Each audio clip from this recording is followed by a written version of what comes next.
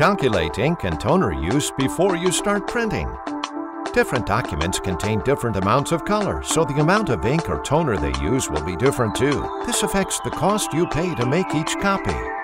Thanks to AP Fill Ink and Toner Coverage Calculator, you can calculate your actual printing costs. As an example, let's see how much it'll cost to make 100 copies of this PDF document.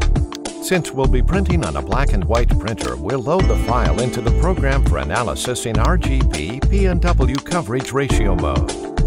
Then we select the resolution, which is important for precise calculation, paper size, and analyze the current page. AP Fill will show the percentage of the page that will be covered by toner. You can view both common coverage and the average color in RGB, HSB, and Lab. Besides overall color coverage, for color printing you can also view data for individual color spots in a document. For multi-page documents, AP Fill will prepare a report about the color coverage for both each page individually and the average for the document overall. All data can then be copied into Excel for further cost analysis. Knowing the color coverage, the cost of a cartridge and the yield with standard page coverage, it's easy to calculate how much ink printing will take.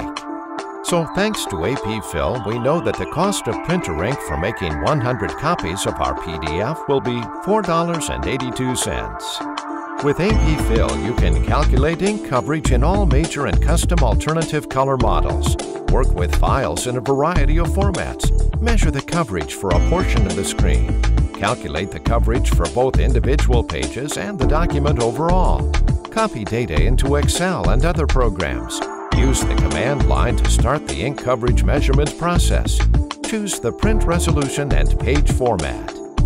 Download a trial version of AP Fill Ink and Toner Coverage Calculator at avpsoft.com.